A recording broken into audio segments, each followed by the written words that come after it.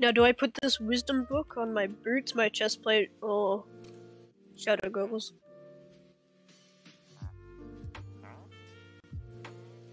Which one should I put it on?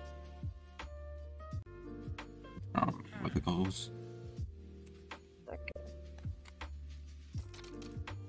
I will put that on there. Dumbass. I'm fucking streaming.